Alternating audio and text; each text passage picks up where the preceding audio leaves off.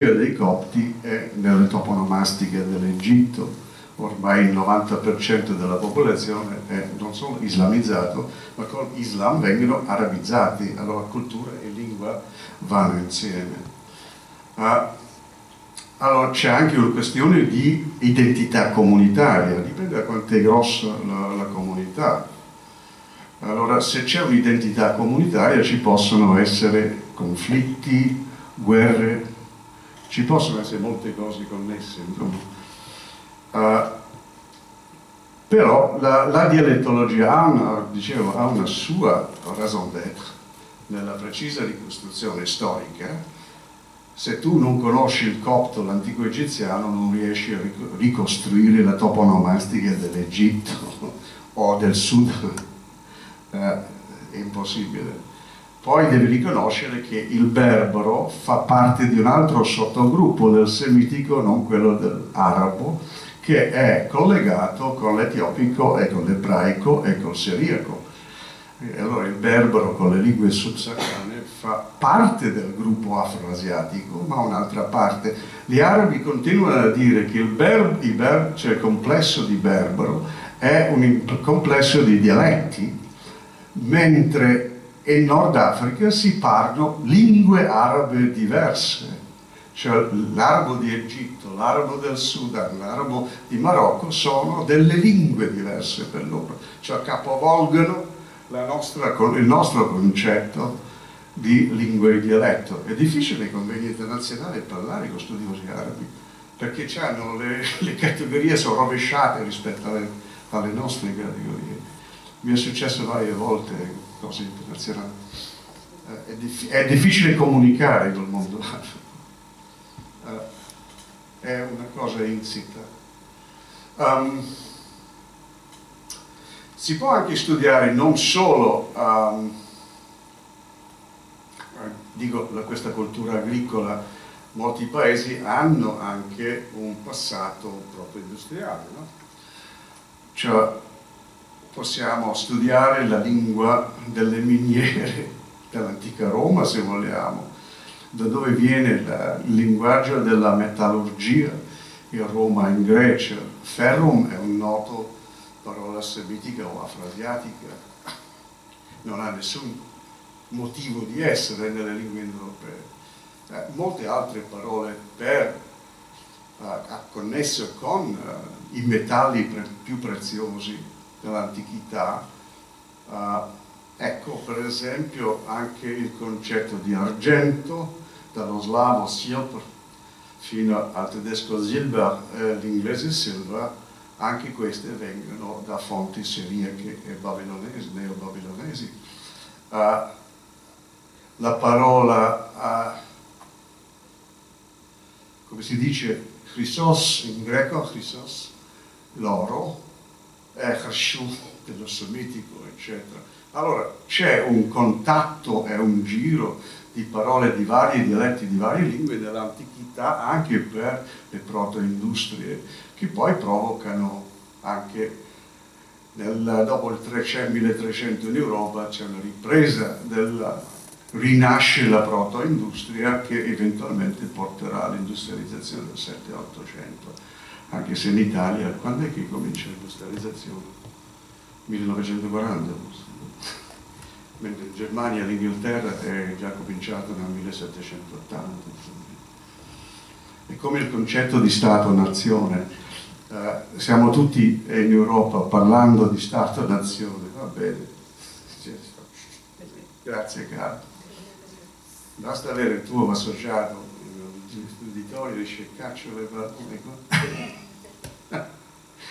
ah, dove ero? Ah, sì. Stato-nazione è discusso a livello europeo, francesi, inglesi ed altri, da 1870-1873.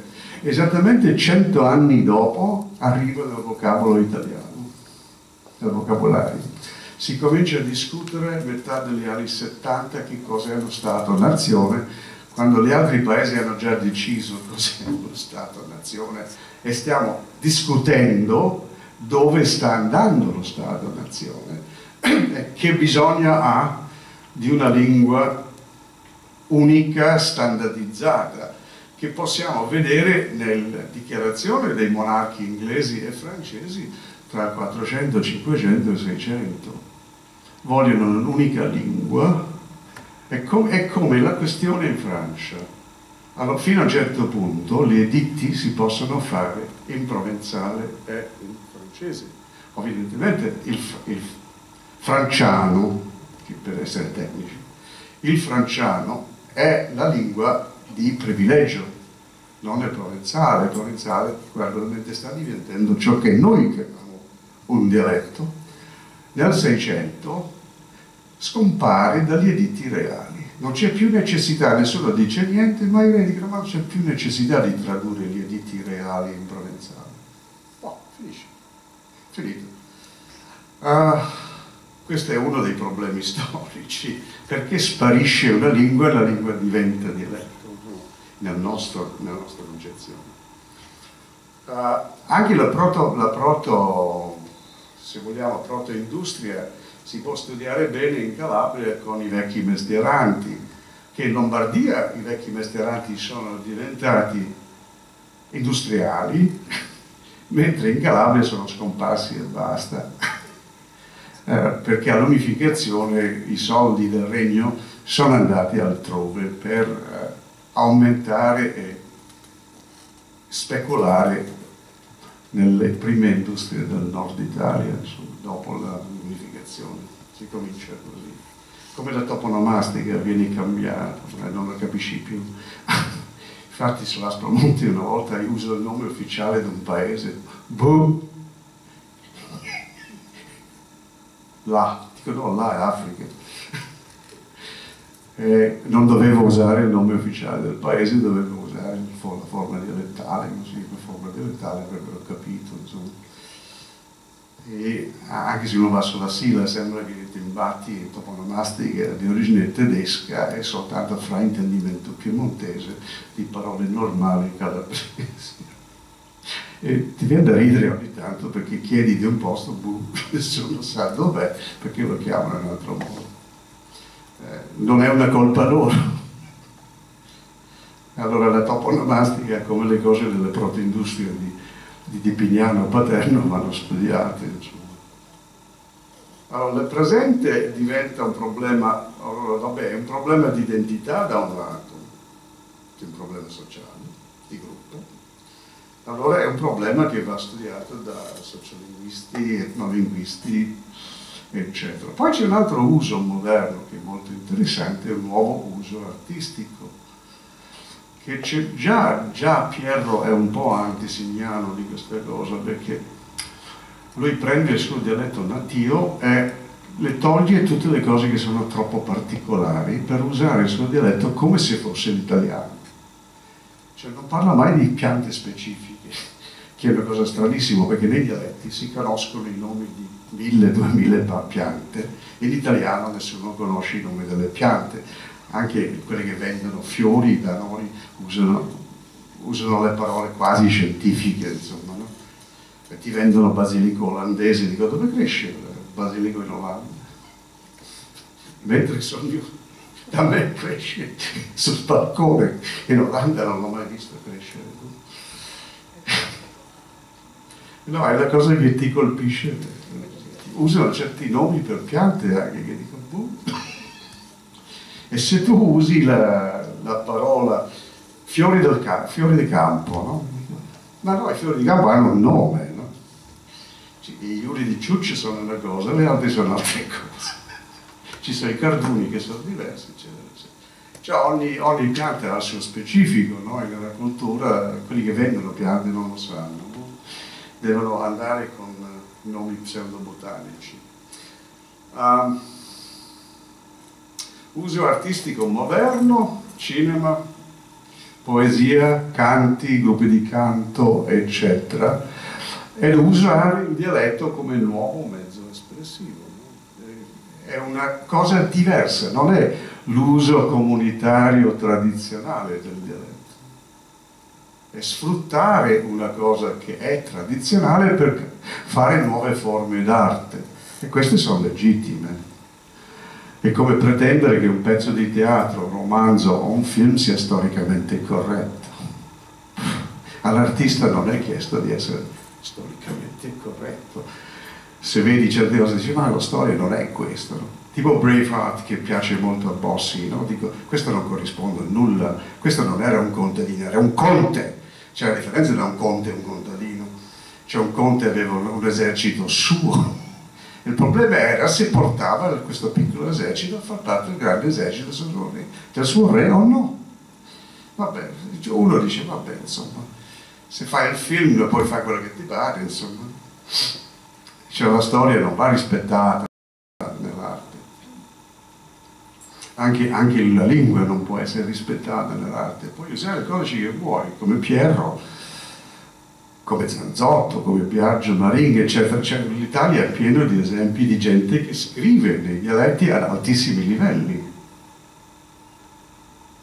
Pensare ai film Casanova hanno scritto in dialetto da Zanzotto, è un ottimo livello di veneziano e poi anche di roba di paese. O le poesie di Pierro, per esempio, quel finto dialetto dell'infanzia che non è più il suo dialetto dell'infanzia perché l'ha già limato, limato, limato, limato. Allora diventa un'altra cosa. Il futuro, boh, ha detto anche il futuro, no? Se muore, muore, se vive, vive. Eh, noi siamo qui non per fare la salvaguardia. Una lingua viva non ha bisogno di una salvaguardia, o vive o muore, o viene succhiato dentro un'altra cosa. Eh, salvaguardia si usa l'Académie de la France, fa la salvaguardia di una lingua di Stato. I francesi hanno un concetto molto rigoroso di Stato-nazione, État-nation. Um, allora l'Accademia in Francia serve per mantenere questa cosa nel linguaggio della burocrazia, dell'amministrazione e tutto il resto, anche per le questioni sociopolitiche e, e politiche. Uh, in un dialetto non serve un'accademia per salvaguardia, come vorrebbe la regione Calabria. Non salvaguardi un, un prodotto dell'oralità, o vive con la propria din dinamis, con la sua propria dinamicità e con le proprie funzioni, cioè l'uso di un repertorio molto molto complesso. No? Eh, però c'è un uso, lo vediamo con la Lega eccetera, c'è un uso di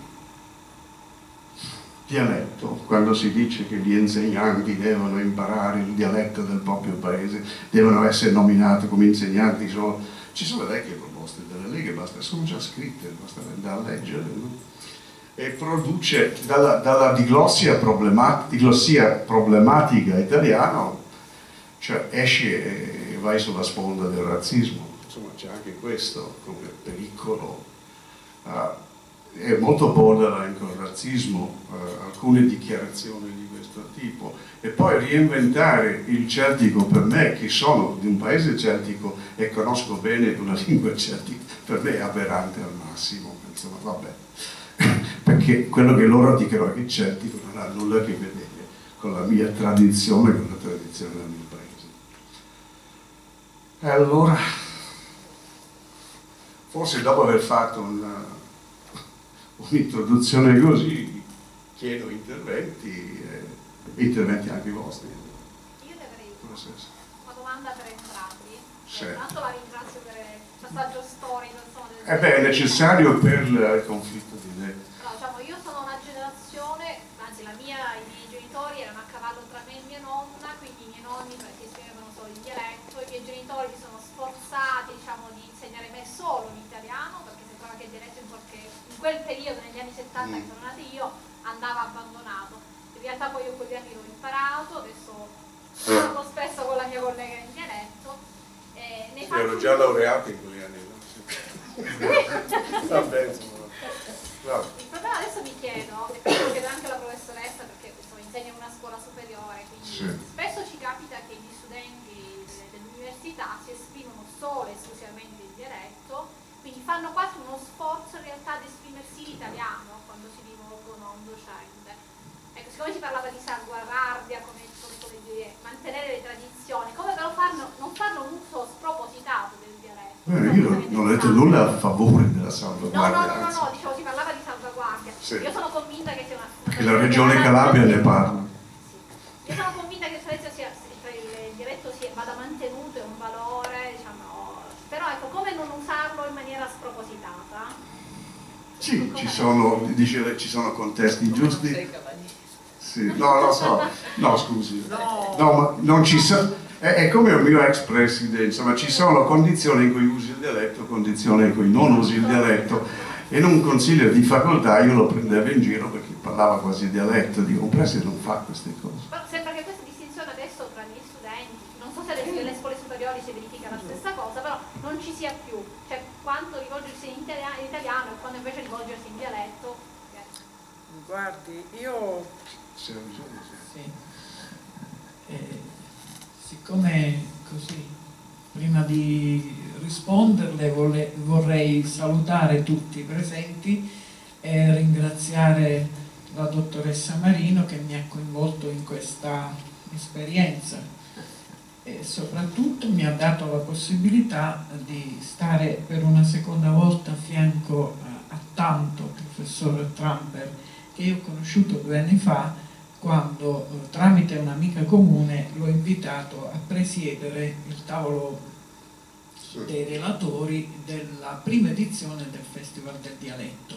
È stata un'esperienza meravigliosa perché eh, ha fatto una lezione magistralis veramente sapiente che ha impreziosito quel, quel, convegno in quella serata, quindi io conoscevo il professor Trumper attraverso i suoi studi, attraverso i suoi scritti, così come la professoressa Maddalone, quindi io conosco i, i, loro, i loro prodotti, i loro contributi veramente eccellenti. È chiaro che nel risponderle io eh, le risponderò con la mia esperienza. Io mi ero portata dei dati perché è chiaro che eh, non potrò che dire qualcosina rispetto a quanto dice il professor Trump, per carità, però mi ero portata dei dati per risponderle, guardi caso, sono, sono adeguati. E 50 anni fa l'Italia parlava dialetto, per la maggior parte si parlava dialetto. Nel 2006 l'Istat eh, constata che il 55% degli italiani in famiglia, in casa, parlano dialetto allo stato puro. Col passare degli anni la popolazione cambia ha un'inversione di tendenza e comincia a parlare sempre, sempre meno dialetto, mentre tra gli studenti questo dato è invertito, cioè mentre la popolazione parla più dialetto, eh, più italiano, gli studenti parlano più dialetto. Sono varie le motivazioni, dipende dal gruppo, dal gruppo sociale, dai momenti in cui ci si trova, dipende dalla psicologia dell'individuo, nel gruppo, nella maniera di esprimersi e comunque diminuisce dal 2006 ad oggi tra gli studenti, diminuisce l'uso esclusivo degli italiani, de, dell'italiano, soprattutto quando si trovano con persone con le quali non hanno nessuna confidenza. Mm. Sembra che io stia dicendo delle cose che si contraddicono, ma l'Istat è seria, no? A colloquio con gli estranei, l'uso esclusivo dell'italiano passa dall'89,3% all'86,8%. Quindi in famiglia è comprensibile perché con i nonni, con, con i genitori si possono utilizzare eh, le frasi in dialetto, le parole in dialetto. Invece, in compagnia degli amici, eh, il, il tasso di studenti che parlava il dialetto era di 4,3% nel 2000. nel 2006 era del 5%, quindi c'è un aumento in questi ultimi anni proprio del parlare in dialetto, soprattutto tra gli studenti. Allora, io eh, ravviso questa inversione di tendenza soprattutto nel fatto che il dialetto, che era considerato una lingua di serie B, era considerata la lingua dei cafoni, lo diceva magnificamente prima il professore. E, e poi c'è stato un altro motivo per cui noi abbiamo abbandonato il dialetto e ci siamo sempre più distaccati dall'usare il dialetto. Non solo perché era considerata lingua dei cafoni, ma perché noi ci siamo arrivati gradualmente a questo passaggio. Negli anni 60 la scuola italiana aveva vietato scuola, già dalla scuola primaria, dalla scuola dell'infanzia, l'uso del, del, dialetto.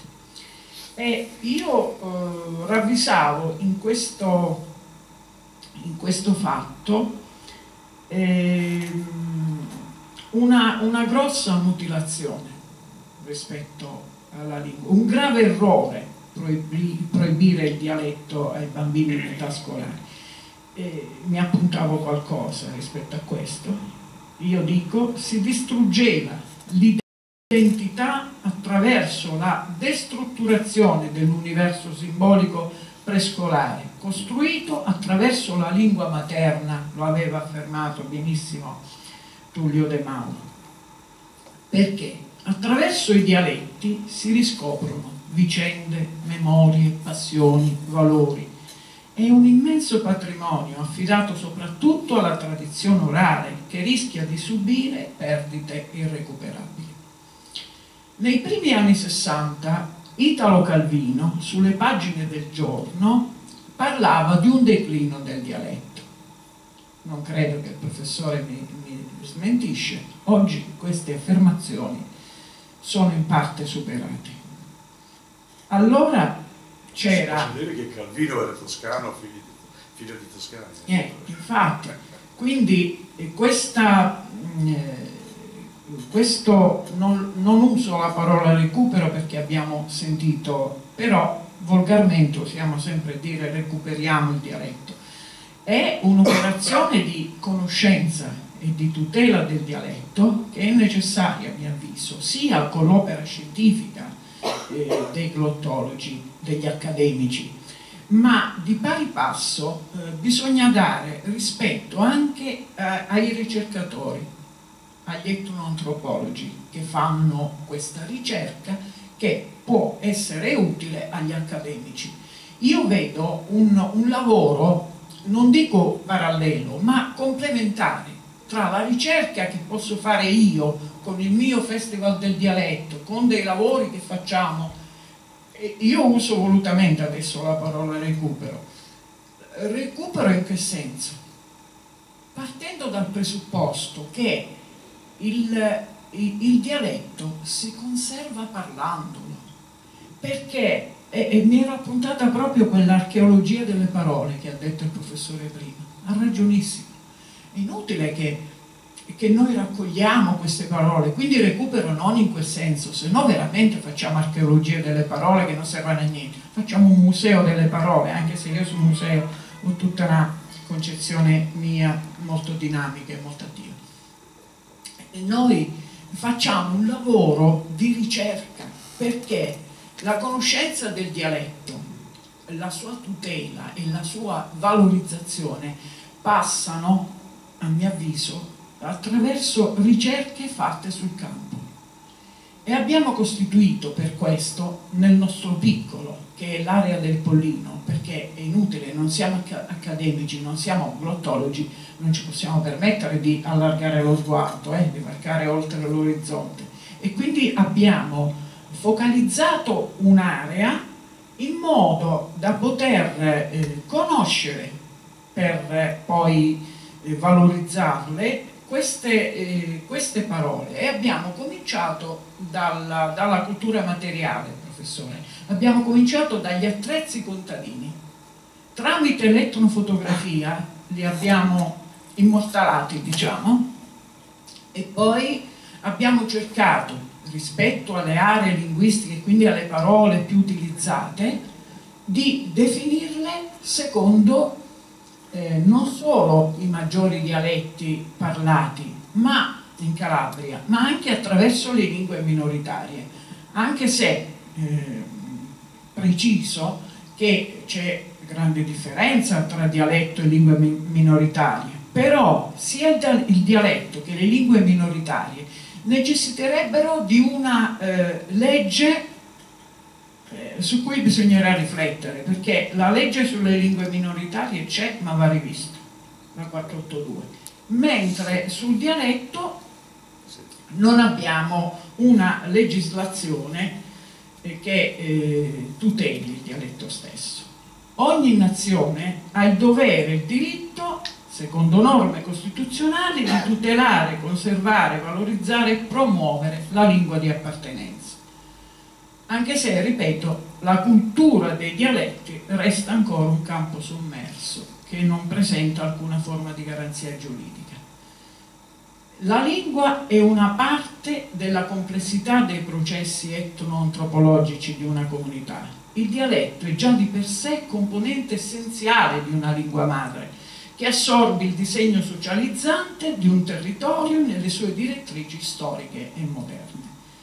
La storia delle lingue è dentro l'identità degli idiomi che caratterizzano un territorio, sia dal punto di vista storico-geografico che linguistico vero e proprio. È necessario ripensare alla cultura dei dialetti, non solo attraverso una chiave di lettura antropologica, ma anche, ripeto, attraverso un percorso giuridico che ponga le basi per una vera e propria legge di tutela dei dialetti, che non sia naturalmente la stessa che tutela le lingue minoritarie, che comunque va ripensata. La conoscenza dei dialetti che interessano tutto il tessuto nazionale è cosa ben diversa dalle tutele delle etnie e delle lingue di minoranza. L'Italia è una nazione che si caratterizza culturalmente proprio per la varietà delle forme dialettali da non confondersi con altre lingue. Il dialetto è una parte integrante del costume e della tradizione di una regione, ma anche di territori all'interno di una stessa regione. Ci sono varianti nei dialetti della lingua italiana che mostrano una vera eh, storia, la storia vera di una comunità ben definita all'interno della comune identità ed eredità nazionale. Ecco perché occorre salvare i dialetti come patrimonio culturale, partendo da un presupposto preciso che è quello che devono restare i dialetti stessi dei modelli in una visione tra recupero delle tradizioni e letture antropologiche. Ma è chiaro che i dialetti appartengono alla cultura italiana, sono dentro la storia della nazione e hanno fatto la lingua italiana, lo si diceva prima, anche se italiano e dialetto hanno un diverso ruolo sociolinguistico. Il dialetto nasce nel contesto del tessuto culturale italiano quindi tutelarlo significa anche rafforzare la stessa lingua italiana che deriva appunto da modulazioni dialettali. Mettiamo da parte il pregiudizio che il dialetto sia una lingua di serie B, senza di timore di sembrare poco colti o cafoni, come dicevo prima. Ogni regione presenta le sue caratteristiche e dal punto di vista linguistico si pone con delle precise coene espressive la piccola identità, che è quella della comunità ristretta, entra nella grande identità, che è quella geograficamente più estesa e politicamente più sezionata in una dimensione nazionale. C'è da dire che il dialetto va tutelato come patrimonio dell'identità di un territorio, all'interno di una politica di difesa delle tradizioni, dei costumi e delle geografie di un Mediterraneo ormai diffuso che è sempre più articolato anche dal punto di vista delle lingue e delle eredità. Ci sono dialetti da considerare come veri manifesti del mosaico linguistico nazionale, che vanno salvaguardati per la loro importanza storica, per il loro contributo letterario, per il loro arricchire l'eredità della stessa lingua nazionale fermo restando che la lingua italiana non perda la sua struttura originaria per favorire inserti che provengono da altre forme di meticciato linguistico. La tutela della cultura dei dialetti può rafforzare la storia, la tradizione le culture nazionali italiane. Il dialetto è patrimonio condiviso di una, di una nazione che è parte integrante nei processi integrativi tra lingua, storia e identità. L'Italia ha una sua identità, ma vive negli intrecci linguistici ed antropologici che ci riportano ad un'antropologia delle radici. Il dialetto come bene culturale e espressione dell'intreccio tra identità, eredità e appartenenza, nella consapevolezza dell'incontro tra la cultura delle parole con un preciso vocabolario e le culture strutturate storiche. La lingua è il tramite attraverso il quale la comunicazione si fa trasmissione non solo di un vocabolario reale e metaforico, ma si focalizza come recupero di valori. In ogni contesto epocale la lingua come manifestazione letteraria ha dovuto sempre fare i conti con una visione applicativa della lingua e delle lingue parlate e scritte nei diversi territori. Il passaggio dall'oralità alla scrittura ha segnato delle linee marcanti in cui la letteratura e in epoca contemporanea l'antropologia della letteratura si è dovuta confrontare con l'applicazione e quindi la diffusione di una parlata. L'antropologia aiuta una lingua a non smarrirsi e a non morire.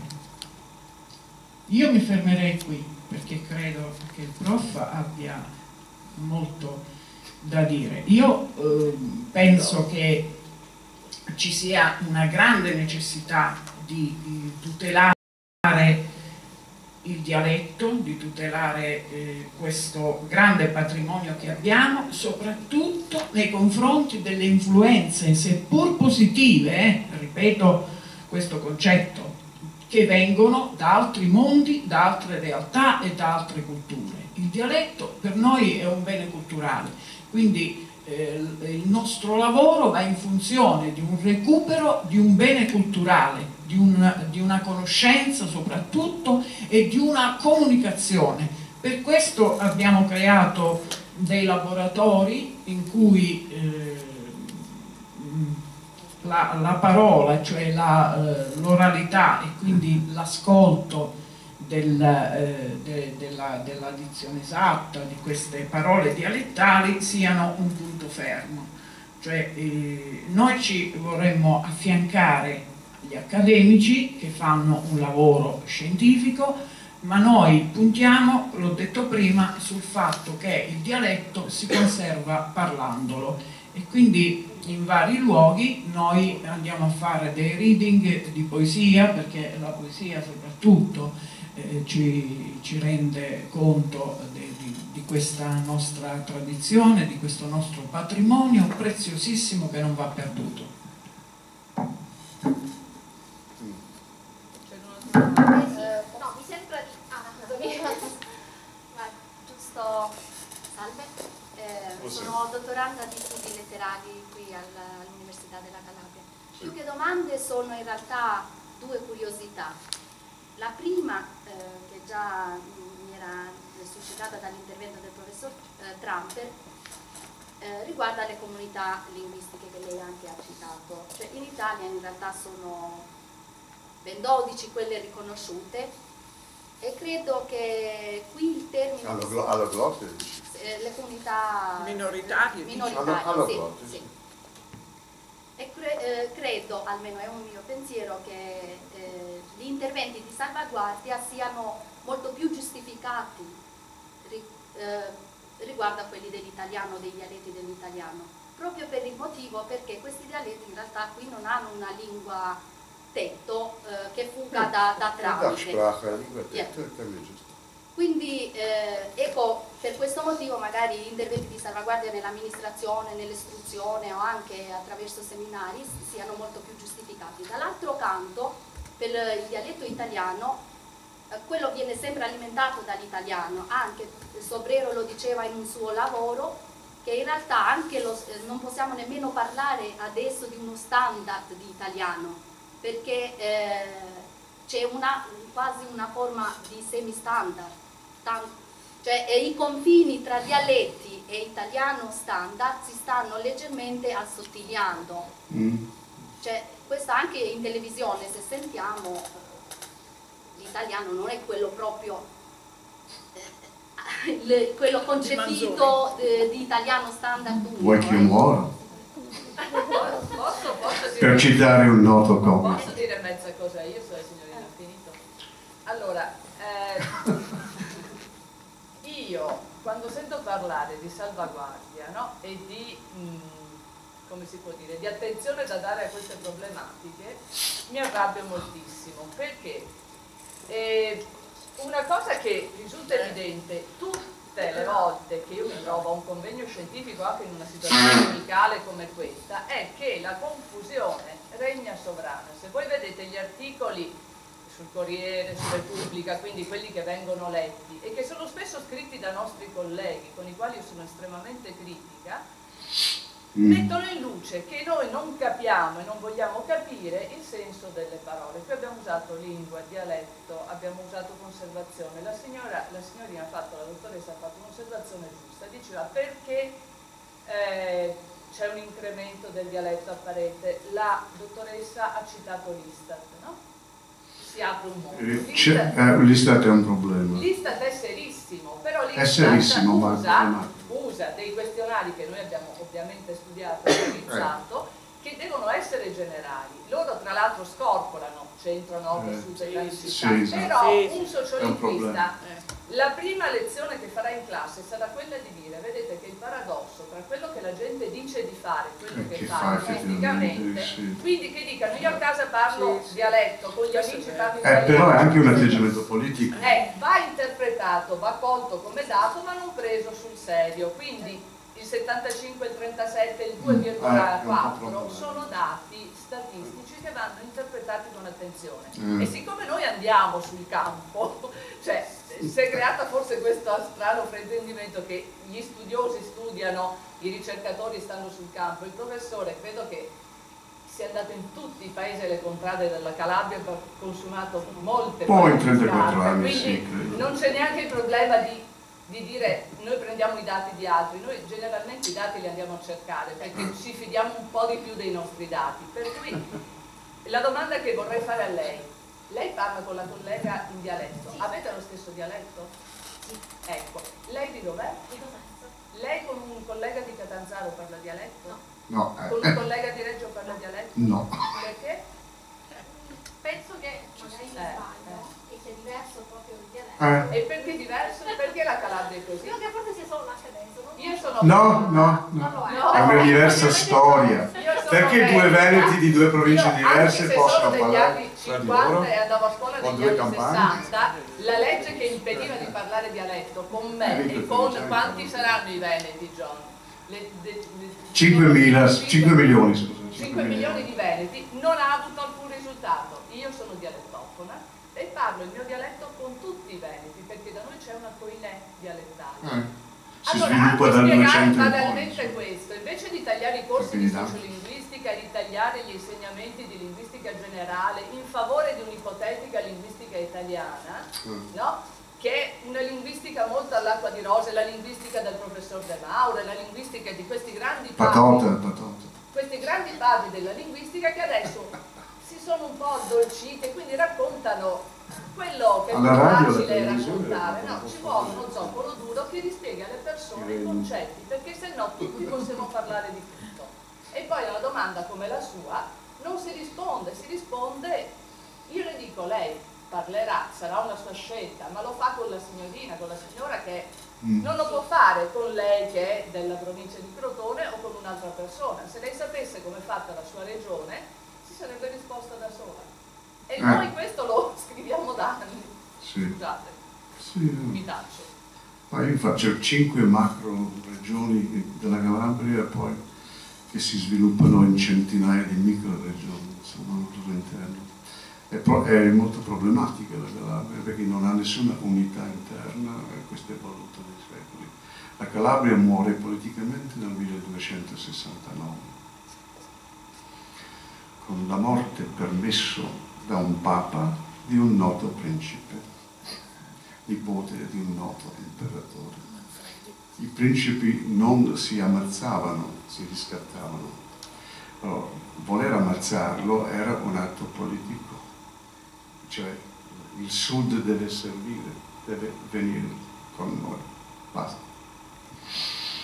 Uh, cioè togliere tutti i capi come gli inglesi hanno fatto in Galles nel 1289, la stessa cosa.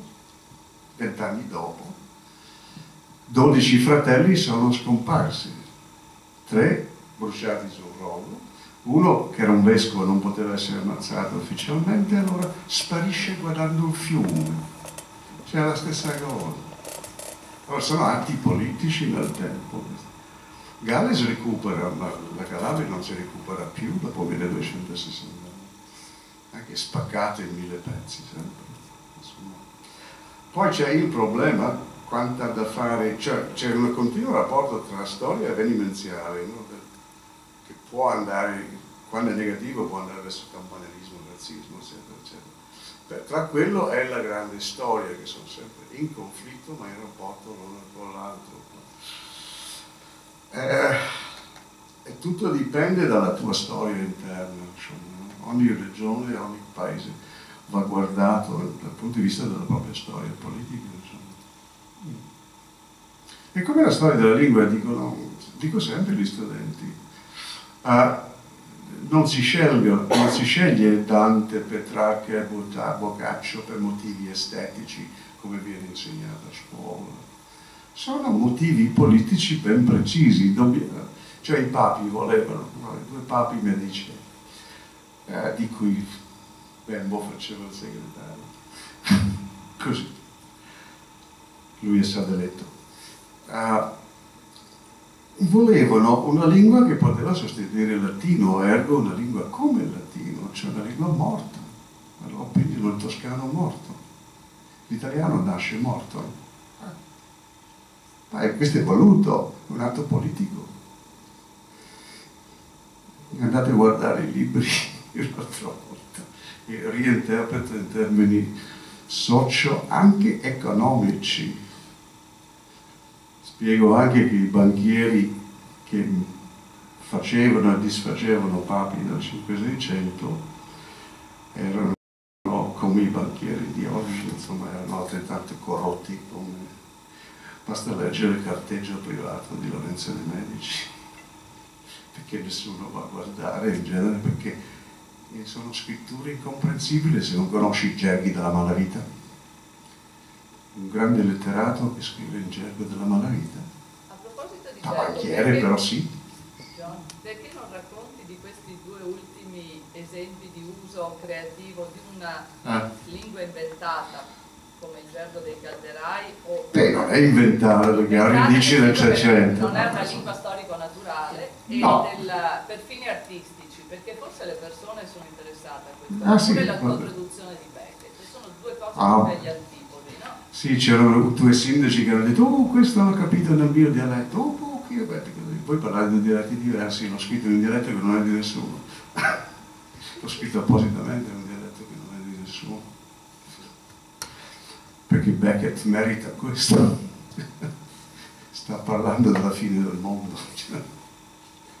um, sì, l'esperimento di usare il mascante, sì, l'abbiamo fatto anche questo. I Delos che si sono musicato, eccetera. Tutti dicono, ma che lingua è? Dico, ha una certa affinità con la, la lingua dei pizzini. è la lingua del, dei metallurgici da sempre, dei forgiari, dei quadrari, eccetera, eccetera la nascita del gergo tra il 300 e il 400. Molto in comune con Vion, anche lui usa il gergo per motivi artistici. No? ci sono usi artistici del gergo durante i secoli, anche in Francia, anche usi criminali e anticriminali. Criminali, il carteggio privato di banchieri, anticriminali, le spiegazioni date da Vidocq come capo polizia di Parigi dell'Ottocento, che poi finiscono nei romanzi sociali di eh, Eugène, Eugène Sue e altri, insomma, c'è tutta una tradizione francese. Vabbè, però dell'uso anche si non usa però parole dialettali, è, è gergali, li evita ma ne parla, no? perché i socialisti come Rossi in Calabria no? dovevano parlare delle cose popolari ma non dovevano parlarne in dialetto.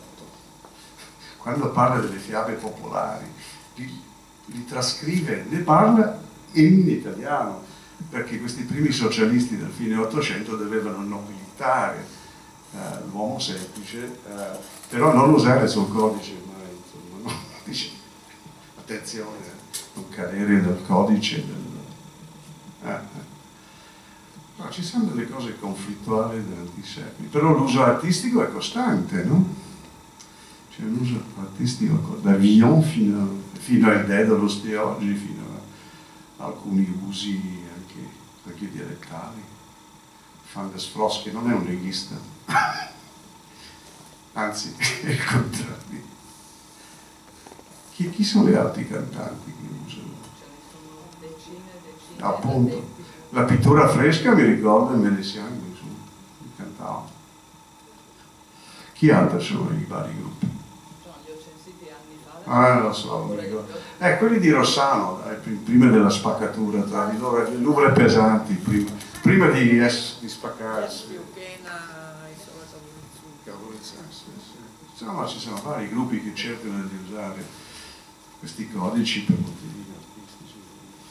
No, sono per, per esperimenti. Il problema, io credo, mh, antropologico, appunto, per, per mm. usare una parola che ci accomuna, sì. è proprio questo, che mh, bisogna stare molto attenti perché quando io, avendo avuto a che fare con la Lega nella mia regione, quando si propone di reintrodurre o di tutelare il dialetto. C'è una, una, versione buona, ce n'è una in buona fede e una in cattiva fede.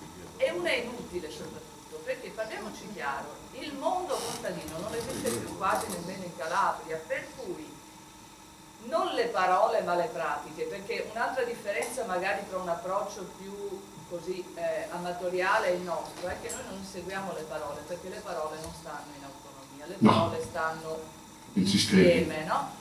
E allora quando si studiano intere pratiche con le parole attaccate per semplificare, stiamo parlando di cose che non esistono più. Allora, io mm. dico, un ragazzo eh, che si sente di usare il proprio dialetto per fare musica, come lo fanno in varie regioni da almeno 20 anni, gruppi che l'hanno usato per fare rap, per fare musica eh, cioè non tradizionale o finto tradizionale, è un'esigenza un sentita.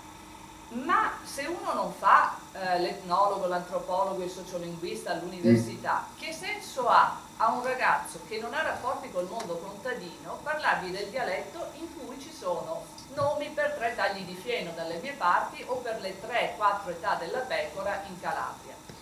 non so che rapporto intimo abbiate voi con le pecore, quante ne vediate, se le vedete da piccole, da medie, da grandi, penso di no, quindi che un ragazzo di 20 anni impari che si chiama Sciabana, che cosa gliene può importare? Cioè, eh, lo puoi usare negativamente di autonoma, per cui il recupero non può passare da lì. Io sono perplessa su questo, cioè lo studioso si interessa di questo, ma generalizzare questo tipo di interesse è astorico, è astorico. Nel senso che purtroppo, io so che qui vado contro il comune sentire e i buoni sentimenti, ma le lingue muoiono. Le, eh, si, mu si muovono nel tempo. Ci dispiace, si sono dialettofona dell'anima più di voi. Quando il non mio dialetto scomparirà sarà scomparso. Punto. Il mio dialetto non è quello di mia nonna non lo può essere. Io so le certo, parole di mia nonna no. perché sono una studiosa. Se una eh, non possiamo far risuscitare i dialetti. Sarebbe una cosa che non vi appartiene più. Questo un po' bisogna lasciare il romanticismo e farsene un minimo una ragione. questa è la mia posizione un po' laica. Ma lavorare, lavorare su questo non credo che sia romanticismo perché abbiamo recuperato determinati attrezzi contadini con le varie edizioni a seconda dei luoghi. Eh, io credo che si strappino all'oblio. Allora, per l'uso quotidiano diciamo, di, quella, di quelle parole, di, que- di quel codice, di I quel musei dialetto. esistono, ci sono sempre esistiti, i musei contadini ci sono. Sì, i musei ci sono. Però poi le persone quando parlano in genere non si No, chiedono, certo, non si fanno domande sulla- sull'etimologia di una parola, Eh. su, mm, se- non si chiede se un tempo eh, deriva da, da latino, da un tempo del latino piuttosto che da un altro. No, nessuno- nessuno la poi lingua, ricostruire. In realtà non la difendo di contraddire perché spesso quando usiamo dei termini con lei, ma anche in casa, ma ci chiediamo Ma in quel caso noi teniamo uso metalinguisticamente. Non parlate per non della lingua Se io vi raccontate che cosa avete mangiato ieri sera. Quante lingue, non- quante non lingue muoiono ogni giorno nella nostra esistenza? questa persona, questo muoiono lingue, cioè di gruppi, casa Che muoiono i parlanti. No, Sono, tante le appunto. C'è un bellissimo che lei sicuramente conosce, Voce del silenzio. In realtà volevo capire una non si sa chi stanno morendo. Io dico da gallese che l'irlandese sta morendo perché trovare uno che parla spontaneamente gaelico da- tra i pescatori, quelli che non parlano nessuno quasi. Adesso io adesso vabbè, sono lingualipede romantica, magari sono anche un ignorante in materia, però rimango per essere affezionata al dialetto, penso insomma che debba essere usato. Però spesso mi capita di citare frasi di mia nonna, di cui Eh. Passa da noi e le spieghiamo. No, no, ma ci mancherebbe. Ma questo non è un cammino, capisci? La, la- la differenza che facciamo noi studiosi è l'uso Li mettiamo di una nel lingua sistema, viva quando viene usata normalmente senza pensarci, non è la chiosa sulla lingua, la riflessione.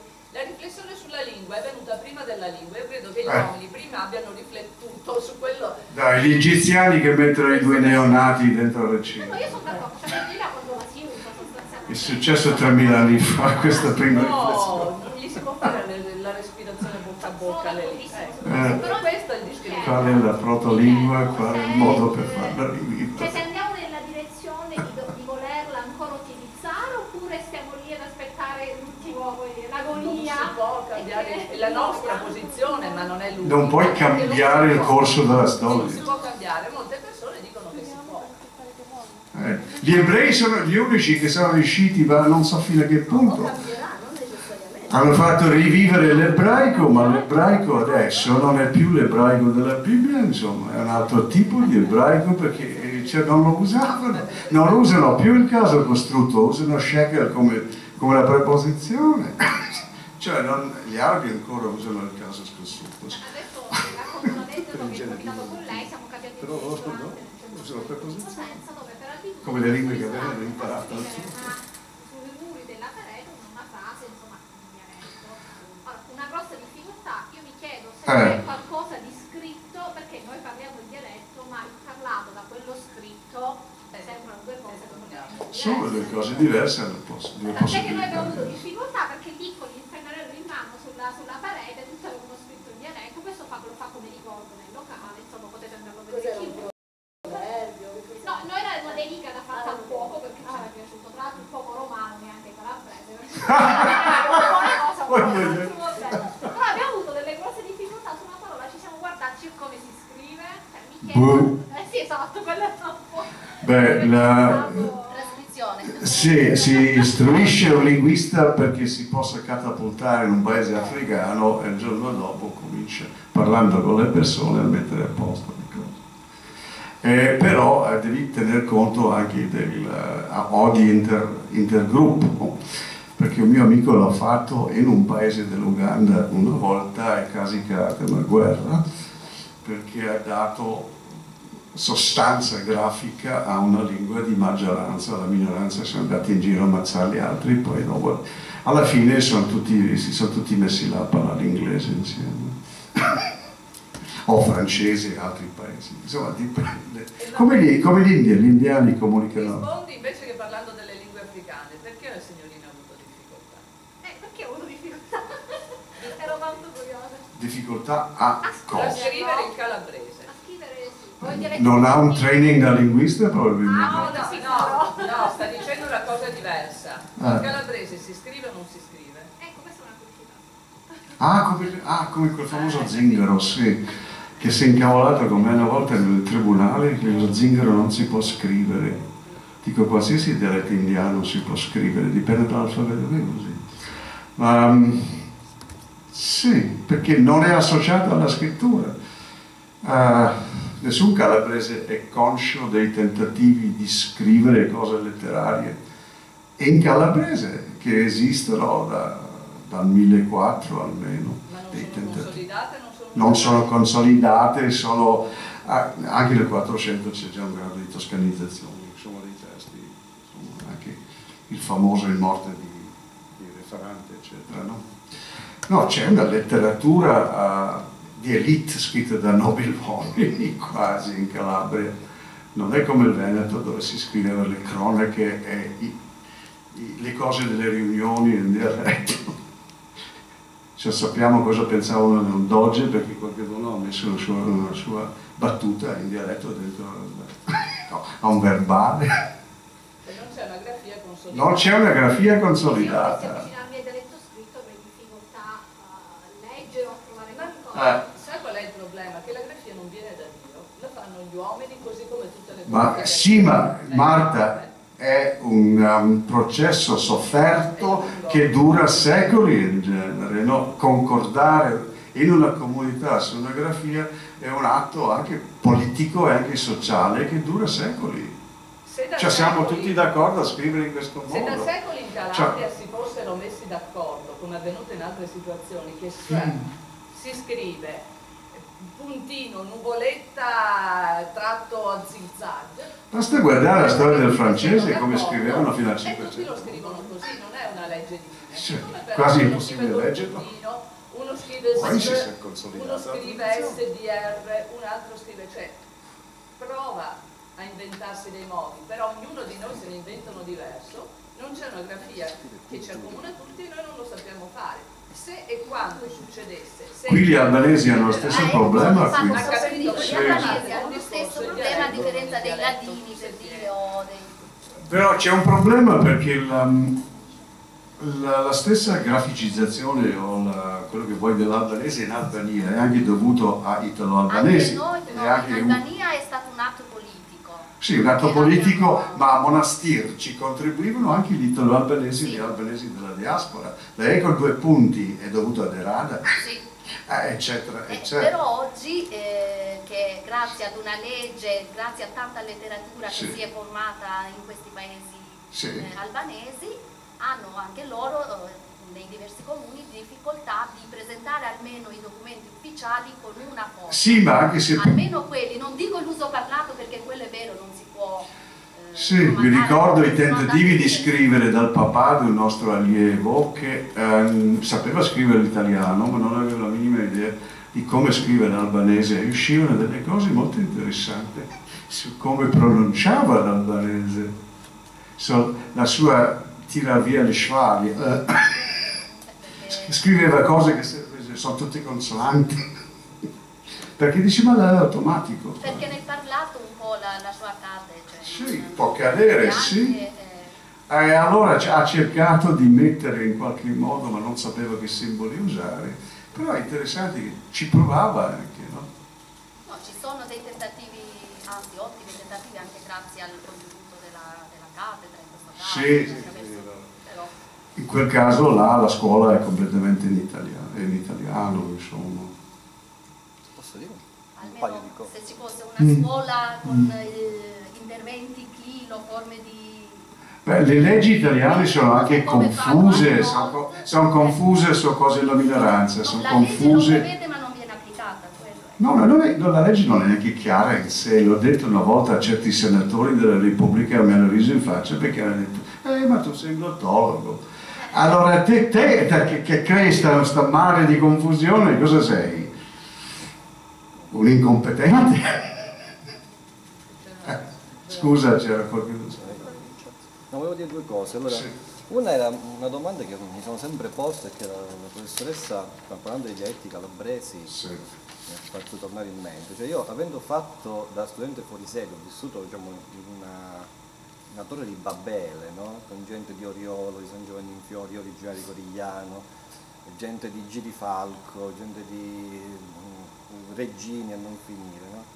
Eh, ma è una mia impressione o il calabrese eh, è molto più vario rispetto alle altre regioni italiane? Vedete, non ha mai avuto un'unità politica da 1260, no? e quindi è, è così, cioè nelle altre È regioni... voluto a questo. Cioè io non, non conosco, che ne so, il campano, no?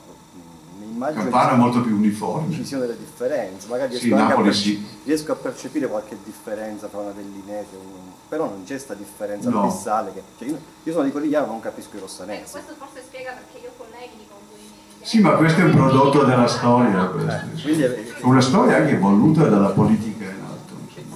Quindi così dal punto di vista linguistico la Calabria è molto più varia delle altre, Sì. del siciliano, del, degli altri. Boh, eh, nel siciliano c'è un, è un- a proposito di accademia, c'è una cosa interessante, prima dell'unificazione d'Italia, gli siciliani volevano crearsi il nuovo principato un'altra volta, allora Giovanni Meli, quando creano l'Accademia di Palermo all'inizio dell'Ottocento, durante le, le cose di Murat e dopo, eh, cerca di creare una, una coinè siciliana. Allora hanno sempre questa tendenza i siciliani. Noi abbiamo lo Stato e di qualche tipo, cioè nonostante gli italiani e il resto del mondo. Eh, allora, e lui ha scritto anche trattati di filosofia in, in un dialetto che non è... cioè, cercavano di imporre una specie di palermitano dotto alto su tutta la Sicilia, c'è questa continua tendenza. Poi arriva l'unificazione d'Italia, vabbè, tutto finisce in niente. Però è interessante che c'è questo mo- movimento storico, Giovanni Meli e l'Accademia di Palermo, molto famoso, insomma. Non esiste nulla di simile in Calabria, non c'è nessuna mossa da parte di calabresi c'è una mossa istituzionale quasi, insomma, di, di tutta la nobiltà, l'alta borghesia siciliana a creare una nuova lingua siciliana adatta per creare un nuovo Stato sicuro, insomma, prima ancora dell'unificazione d'Italia. Questo è il momento in cui nasce anche la mafia, ma non importa. Nascono tante cose in quel periodo. Poi appare la parola verso il 1826. Mm. E poi l'altra cosa era, eh, proprio di recente mi è capitato di prendere in giro un mio amico, anzi Mm. una serie di miei amici, che mm, eh, parlano, cioè ascoltano molto di più l'inglese quasi che l'italiano, no? perché magari hanno i telefilm in lingua originale oppure hanno Sì. contatti con altre persone. Allora io li sfotto dicendo che parlano l'italiano hamburgeronico, eh, perché italianizzano dei termini che non sono italiani, Sì. no? Eh, dei false friends praticamente eh, eh, come, come capita. E perché gli informatici sono i peggiori. e sono informatici. Se parlano una specie di, uh, boh, come la chiamano? Quindi l'italiano Inglitaliano, ingla, ingliano, non lo so. l'italiano hamburgeronico. Bulgaro. Hambu- hambu- Hamburger, sì. Ho capito. Come? Sì, per codice magari. Sì, sì. Come l'English giapponese. Sì, un po', sì. Mirigibago, sì. Il milk butter. Anche in quel caso non si può intervenire, succede e basta. Sì, succede, votare, di, di twitto e tutto il resto Sì. succede. Twittare, sì, No, ma è orribile. Pensare ad una legge che dice, beh, da, da domani No, ma io non i bambini a scuola non sono che daranno la parola verranno messi nell'angolo. Non sono neologismi, sono È un parole passo morto, eh. è mandatorio fare questo. parallelismo, parallelismo con No. eh, È mandatorio fare questo. Cioè. Ma i napoletani però vanno avanti con le loro parole dentro la rete. anche, anche i veneti hanno creato reti con, in dialetto. Ma Diciamo. basta vedere anche il linguaggio delle chat come è diverso, no? Sì, sì. Dice Quanto, quanto multilinguismo c'è. eh, Ma non solo quello, credono di aver inventato dei simboli che i frati monaci hanno inventato 1500 anni fa, ma insomma no, il terpo, cioè, tutti i simbolini che usano sono già stati inventati molto tempo fa da monaci. Basta leggere cosa scrivevano monaci greci con 300 segnetti nel Medioevo. Ma Ah, qual è la alla risposta? C'è una trasmissione su Radio 3 che avevo cominciato a seguire con entusiasmo che si chiama La Lingua Batte e che mi ha deluso da mi sono subito cancellata perché proprio sabato scorso parlava di questo. Allora una storica della lingua, che ora sono gli unici mercato, diceva il problema è che anche il fascismo l'ha trovato, no? Ah, però c'è riuscito Cresta con di Gallo molte, no? intendi? Sì. Con alcune parole c'è riuscito, con molte altre no. Perché chi fa il linguista sa che le lingue sono come i gatti selvatici, metterli nel trasportino è molto difficile. Eh, allora questa storica della lingua diceva ci sono delle parole ormai tipo mouse, te lo tieni, eh, downloadare al limite No, no, tu mi critichi già Sì, se lo eh, dici. da, da quello perché a me dà fastidio fisicamente. Sì, perché vabbè, è una cosa estetica, non è linguistica. E diceva però le parole nuove, tipo quelle che citava lei, siccome sono nuove, sono ancora fresche, facciamo in tempo a proibirle. Io la vorrei vedere. come fanno i francesi. Sì, i francesi lo come fanno, hanno l'Accademia cose. che- Eh, C'è la, la funzione dell'Accademia, la conservazione della lingua ufficiale. Per Sì, ma esiste- Ma sa chi ha, chi ha inventato l'Accademia? Una famosa italiana. Sì, ma i francesi ci riescono però, eh. Sì. A me è capitato di parlare con dei francesi di, di musicisti, non, non si capiva, Jimi Hendrix, chi è Jimi Hendrix? Boh. G- Ah, Jimi Hendrix. Ci ho messo mezz'ora a capire. Eh, Ma ha dovuto- no ma ha dovuto fare la- la canzone, cioè, no- Ma non è quello, l'ordinateur, eccetera. in Spagna il. Sì, il raton. Quelli che... Il radon è bello. ¿Cuántos ratones tienes? Sì, sì. Non sono i toponi zoccoloni del, del, del crati. Eh, Ma a parte che ce ne cacciano. sì, Io, io credo che però, scusa, detto proprio in parole tue, il problema non è tanto quello di essere attenti a downloadare cose di questo genere, è che se uno ha una cultura bella grande, legge molto, parla molto, è molto intelligente, è molto colto, tutto questo non gli fa male. Il problema è che siamo cretini, ignoranti e mediamente e quindi andiamo a togliere, a togliere, a togliere, quello che ci resta è quasi nulla. È finito. Cioè avere una babele di lingue ci fa bene, quindi È già finito, ma hanno reinventato le caracari con Su questo non 48.000 c'è persone che non sanno neanche cosa arriva. non sono molto... Tutti i soldi vanno a leggere. Eh, ma... Sì, sì, È normale. volontà di pensiero, la volontà linguistica Io volevo è è una contro gli assessori regionali. è Sul pubblico. Così e ripetiamo come Fanno cose solo per altri motivi. lei dice una cosa, io lo ripeto, perché faccio fatica, se invece È stato un piacere. Sì, effettivamente. Dopo tanto.